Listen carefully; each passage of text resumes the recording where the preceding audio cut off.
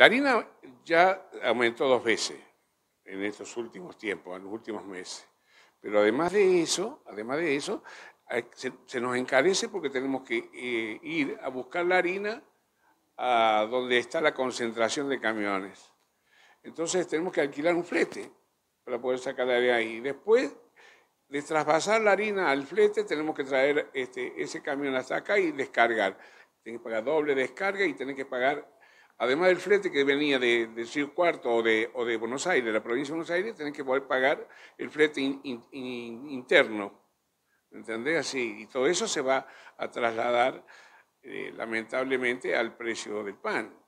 Y es una lástima que se llegue a eso porque hay otras variantes que podrían ayudar a que eso no ocurra, de lo cual se tendría que dedicar el gobierno, ¿no es cierto? Una de estas variantes eh, sería este molino que está en Villa Mercedes, reactivarlo y hacer una cooperativa para que, por ejemplo, ustedes los panaderos puedan comprar harina aquí en la provincia. Naturalmente, pero eso es a largo plazo, eso no se puede hacer de un día para el otro.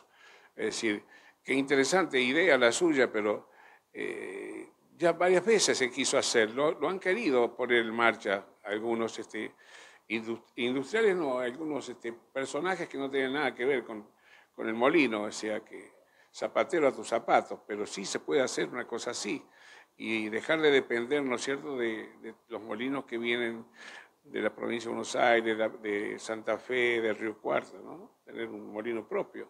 Víctor, ¿cuánto considera hoy que sería un precio ideal para el kilo de pan? Y hoy no hay precios hoy.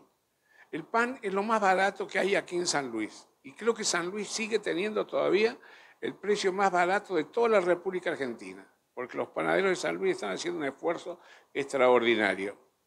Y creo que no está este, siendo tenido en cuenta, especialmente ahora que tenemos este problema de abastecimiento de harina y que no, no, considera el gobierno o, no nos da este, la importancia que me parece que, que, que tendría que darnos. ¿no?